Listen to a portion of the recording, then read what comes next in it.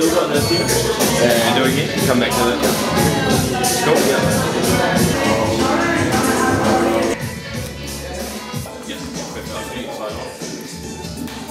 Alright, I'm